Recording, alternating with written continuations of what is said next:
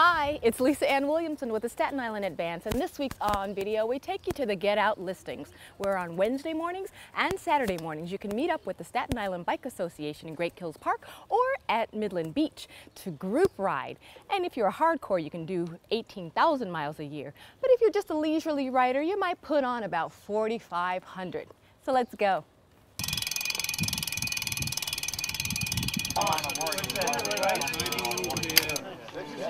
I wanted to have ID crap. I'm assuming that. Can't go in the street. Stop at the corner. Uh, Frank Beninati. I was about 50 years old. I went around the block a few times, then I expanded. I came here to Great Kills Park from my home. I, I live about two and a half miles away.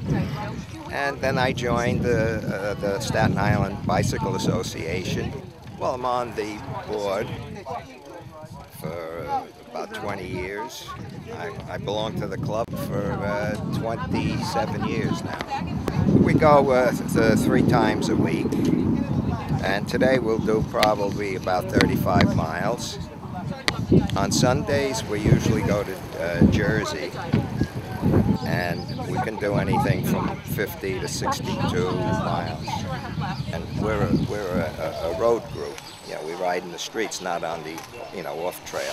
Well, on, on Wednesday, we start from here, go do a Capodanno loop down South Beach, and then head out to uh, Tottenville. We just go into group, you know, each, we have three groups, A, B, and C. The A being the fastest group, which I'm never going to attain. The B is a somewhat slower group, and the C is the real slower group. And, uh, and it's uh, safety in numbers. You know, if car sees a group, they're more likely to try and avoid us.